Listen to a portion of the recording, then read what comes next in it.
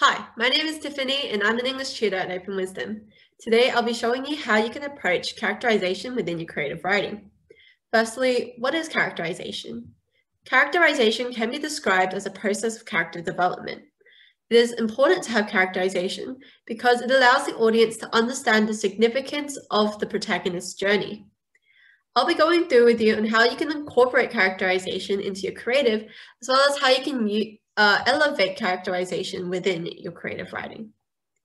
Incorporating characterization requires considering a few questions. Firstly, what is the personal or emotional journey that your character is going through? What is the physical journey? Um, and if you do include the physical journey, I recommend that it is accompanied by an emotional journey to add further depth to your story. Um, will there be a catharsis, meaning an emotional or overwhelming realization about oneself? And finally, what is the message that you want your uh, to convey to your audience? A way in which you can elevate your use of characterization is through the use of motifs. Um, a motif is an image, symbol, or idea that is repeated throughout a story.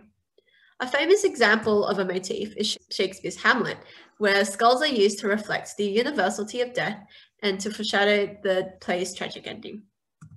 So how can you combine a motif with characterization?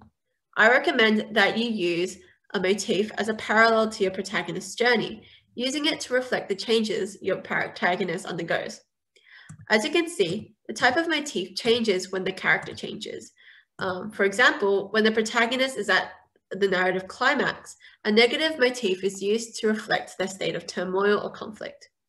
Let's have a look at a past HSC example.